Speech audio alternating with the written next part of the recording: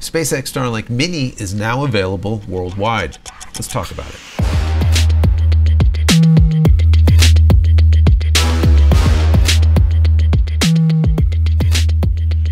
Hey everybody, welcome back to the channel. Today we're going to be talking about SpaceX Starlink Mini and now is available worldwide. You guys have been asking for that for some time. You asked me when that was going to occur and I said probably about a month and it actually happened quicker. So as of today, certain countries now have SpaceX Starlink Mini available. I was reading an article over on PC Magazine and I want to go through some of that with you. It gives a little bit of a breakdown and I think that it's really important because then you'll know exactly what the price are at the different locations, depends on where you are. But before we get into it, I want to say that if you haven't downloaded any of my ebooks, check them out. Go to jcristina.com forward slash books. If you want to say thank you for all of my hard work, there's a little thank you button down here. You can give a dollar or two if you like. If not, that's perfectly fine. Consider becoming a member of the channel. That would be even better. And if you want more Starlink content, when you're done watching this video, I'll put a little link right over here. Don't click on it yet click on here. There's about 300 plus videos that you can check out just specifically on SpaceX Starlink. Helpful how-tos, tips, tricks, what to do, what not to do, what to buy, what not to buy, and the why behind all of it. That's the most important thing. This channel has always been about the why. And if you enjoyed the content, even at least throw it a thumbs up. That would be awesome. Don't forget to subscribe if you're not, and if you are, thank you. Appreciate that. Click this little notification button over here so when I go live or when a new video comes out, you will be notified of it immediately. Before we get into this article, some people don't even know what the Starlink Mini is. Basically what Starlink says or what SpaceX says about it is they say that the Starlink Mini is 63% lighter than the standard version. It also has the built-in Wi-Fi router. So instead of having the Wi-Fi router separate, it is actually built into the dish, which is kind of cool. Also, there is a lot less power consumption, about 25 watts to 60 watts using the Mini. That's also great, especially if you're going to be using it out and about. Most likely you will, and it does offer DC power. So you can go DC to DC, so if you're powering it through a battery backup or through a car battery or whatever you have, you do not have to convert from DC to AC to be able to run it.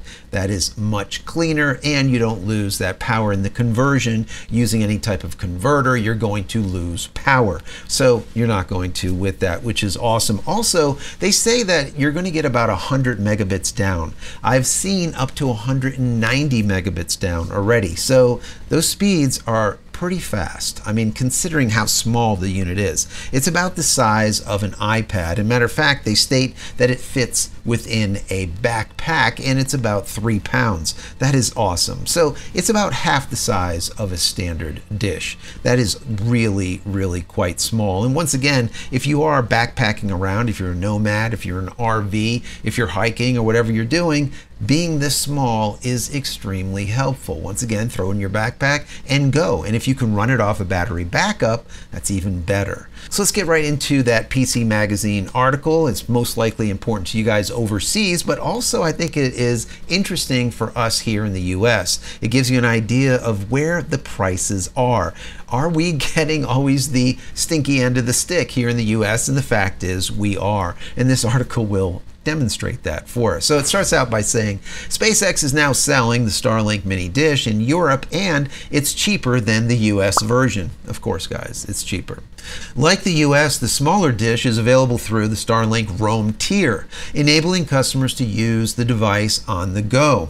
On Starlink.com, it's 399 euros, which is about $433. In France, the company sells the hardware even cheaper at 339 euros, which is about $368 US. Now, the US version still goes for $599. So you're looking at about $260 cheaper in France, for example. In addition, SpaceX is charging European subscribers a lower monthly internet fee, which is 40 euros, comes to $43 US, and that's for the 50 gigabyte plan, or 59 euros, which is $64 for unlimited data. Now that's a big difference.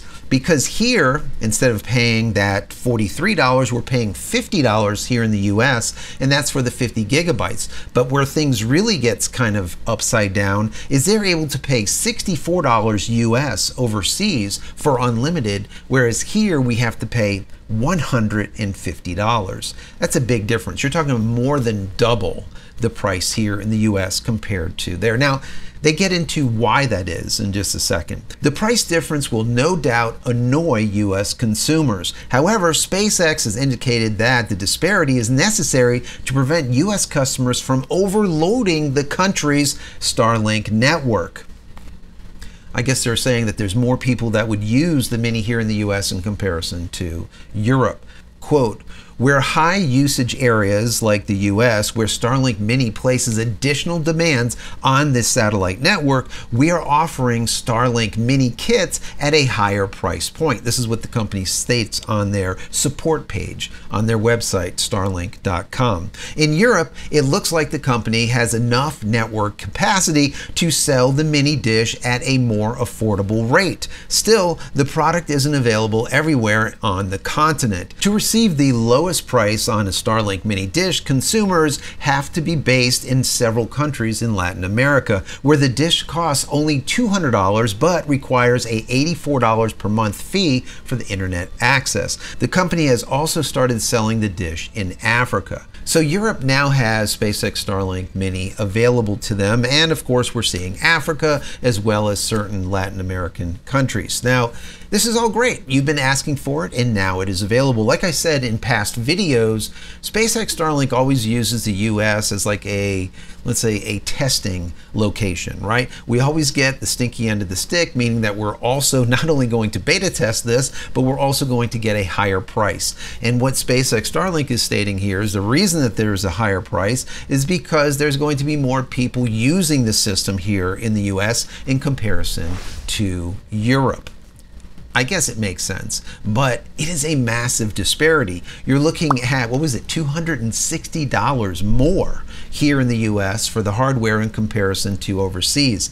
That is a big, big difference. And that's why a lot of people here are waiting to get involved in the SpaceX Starlink mini kits because they're just simply too expensive. Now that they have moved from only offering the 50 gigabytes per month, which was really, really small, you can still get that for 50 $50 here in the US, but you can also pay the 150 and get an unlimited plan here in the US. But once again, that unlimited plan here for $150 is only like 64 bucks overseas. It is once again a major, major disparity in the US compared to Europe. So if you guys are watching and you're in Europe, I want to hear from you. Is this something that you're going to get involved with now that SpaceX Starlink Mini is available to you? If you are in the US and you see this massive price difference, are you going to wait? like you have been and hope that it goes down. Now, I've already said this on past videos that this 599 is not going to stay that way. I think it's going to come down to either $199, maybe $249, probably maximum.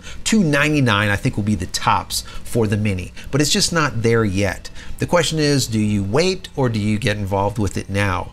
And I personally would say if you can wait a little while, I would because $5.99 for this small dish I think is too high. That's my personal opinion. But if it's something that you need and you want something really small and you want to be able to power it through a solar panel or some type of battery backup and you're on the go, it is a great system. And those speeds where they're saying that eh, we're going to guarantee you like 100 megabits down, those speeds are not correct. You're actually going to get a lot more. And according to a video that I did yesterday, I believe, the last video I did, SpaceX Starlink has already asked the FCC for more power power. And when they get more power, what that means is the Mini is going to get a big, big power increase. When that happens, probably the speeds are going to be equal or pretty close to equal to a standard dish. So we're going to see 200, maybe even 300 megabits down. So we'll see what ends up happening. Once again, I want to hear from you down in the comments below. Anyways, if you enjoyed this video, throw it a thumbs up. That'd be awesome. Don't forget to subscribe. If you're not, if you are, thank you. Click this little button, like I said before, so when I go live when a new video comes out, you'll be notified of it immediately. And finally, head over to my website, jcristina.com, where you can find all the photography tools I've invented for you over the many years. Check it out. There's also my merch, my tees, my shirts, all kinds of stuff. If there's something there that you like, pick it up. Help support me and my family. Many blessings to you and your family. Stay safe, stay healthy, stay connected, and we'll see you in the next one. Love you all.